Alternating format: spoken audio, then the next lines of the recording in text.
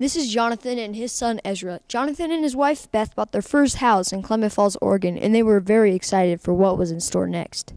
It had the exact amount of space that we needed for our family, um, as it were, and it had room to grow. And we were really excited about um, everything that we could put into it. And we did put a lot into it. We put a lot of sweat equity and a lot of um, blood, sweat, and tears into making the house our home. But after two weeks of living in the house, the Hankins family started getting very sick. For two and a half weeks, my wife, my two year old son, and I were experiencing dry mouth. Ezra and Beth were both experiencing breathing, respiratory problems. I was experiencing headaches and nosebleeds. Even the last night that we lived in the house, my two year old son couldn't drink water because his mouth hurt so bad. That's when they found out from neighbors that they thought the house was a former meth lab.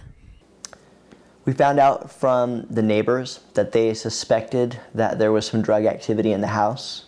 And after my family was experiencing the symptoms that we were experiencing, they even went so far as saying that they may have even thought the house may have been a lab.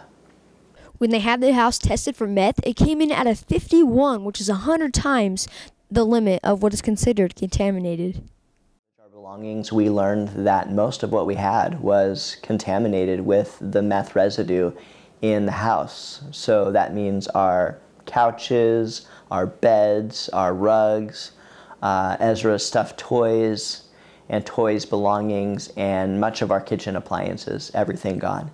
It's kind of like a slow house fire, only we get to choose what we lose and what we don't lose, and insurance doesn't cover it. Because of the meth, they were forced to move out of their house, and as of today, they are still making payments on it. Yes, we are still paying the mortgage of the house uh, month by month, as well as paying rent for the house that we're now living in. The Hankins have decided they want to stand up and make a change.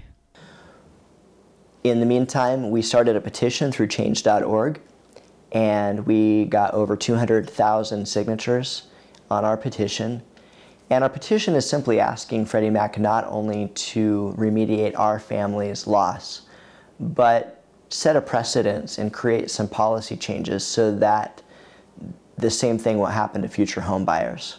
The Hankins have decided that even though their home is unlivable, wherever they live, as long as they're together, it's home. I'm Johnny Spinelli for the Ravens Report. Have a nice day and stay safe, Ridgeview.